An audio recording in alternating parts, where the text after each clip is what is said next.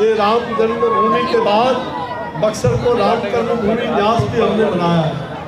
और राम कर्मभूमि को इसको प्रधानमंत्री जी के आशीर्वाद से भारत सरकार ने पूरी तरह से ये रामायण सर्किट से हमने जोड़ा है।